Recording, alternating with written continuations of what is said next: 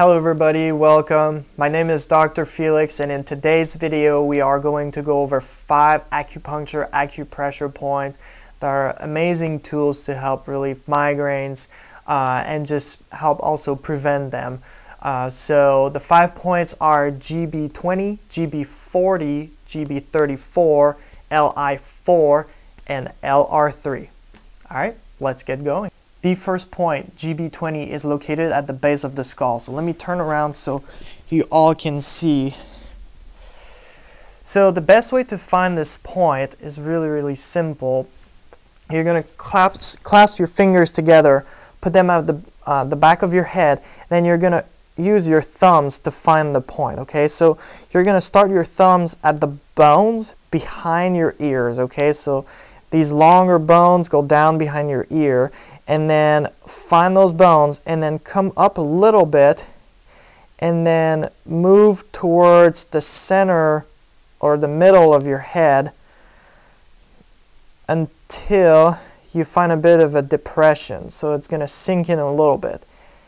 That is your point GB20. So to massage that point, what you do is you're going to press for 8 seconds and you should apply a relatively firm pressure. It shouldn't be just a little bit. It probably is best if you apply pressure to the point of slight discomfort. Then after 8 seconds, you can release for 2 seconds. And then you can apply pressure again. It most probably will feel sore, especially if you're having a migraine. So go easy, you know, don't make it worse.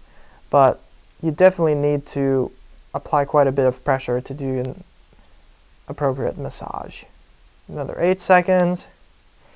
And then you can release for 2 seconds. And you can do that for a total of 3 minutes, like every uh, acupuncture point. Next, we're going to talk about GB40. Okay, GB40, gallbladder 40, is found on the foot. So what you'll want to do is best if you take your socks off.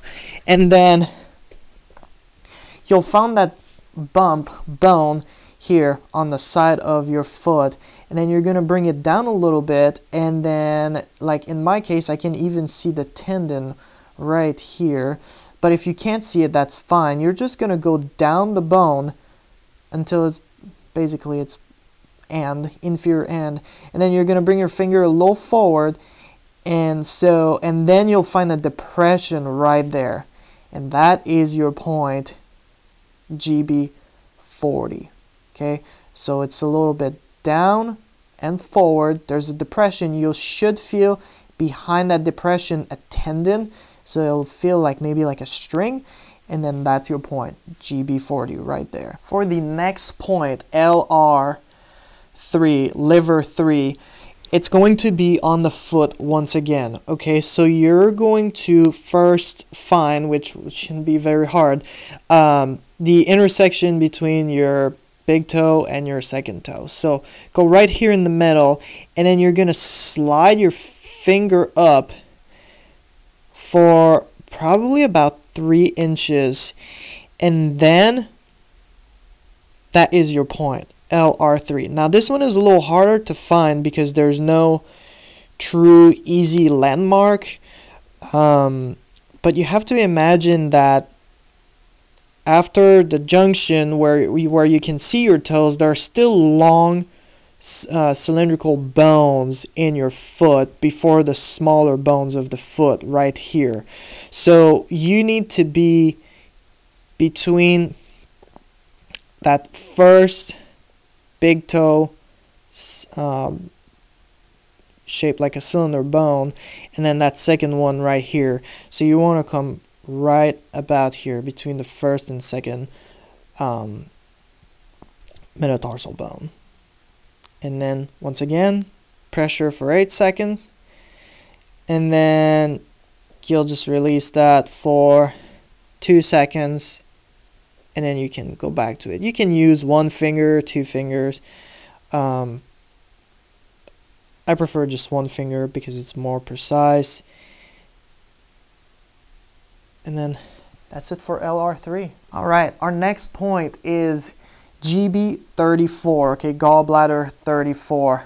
That point, again, is uh, or might be a bit challenging to find, but we'll make it simple here. So on the side of your of your shin, there's the tibia, right, that runs more midline, and then on the side there's the fibula, which is a smaller bone. And if you run your hand up or your thumb up, you'll end up at a, a, bony part. That's the head of your fibula.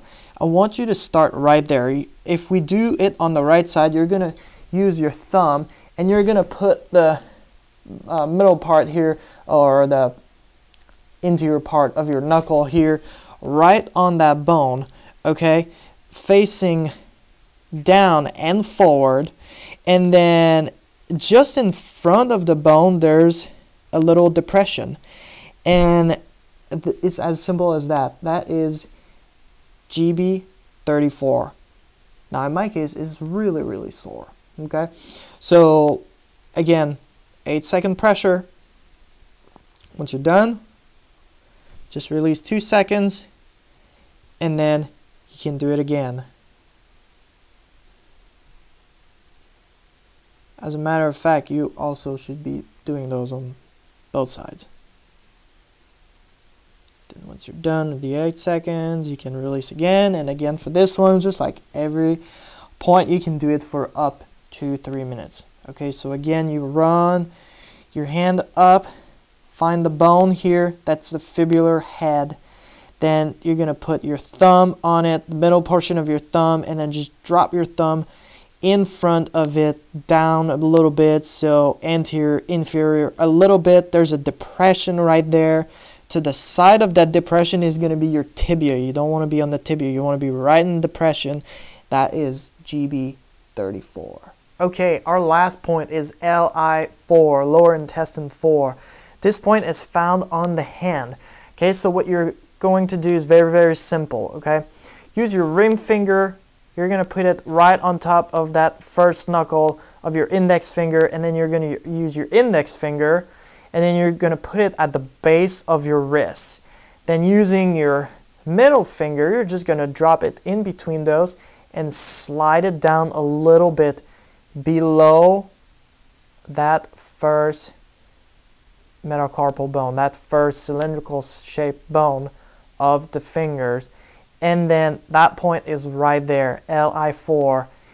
It very, very probably will be sore. In my case, it is. And again, just like all of them, 8 second pressure, 2 second release. You can do that again for a total of 3 minutes. So again, ring finger on the first knuckle, index finger on the base of the wrist, and then middle finger in the middle, drop it just below